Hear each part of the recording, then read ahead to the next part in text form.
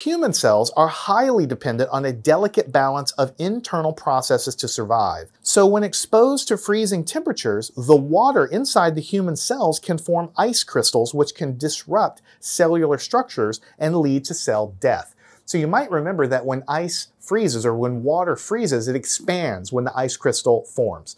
So because human cells are more complex and they're mostly filled with water, as soon as a human cell starts to freeze, the ice crystals inside, when they form, they begin to bulge out the cell membrane, causing the cell to rupture. So the process of freezing a more complex cell causes it to be destroyed. So while some viruses have evolved mechanisms to survive freezing temperatures over long periods, human cells are much more vulnerable to damage damage. This ability of viruses to endure extreme environments has important implications in microbiology, medicine, and even astrobiology. Learn anything at mathandscience.com.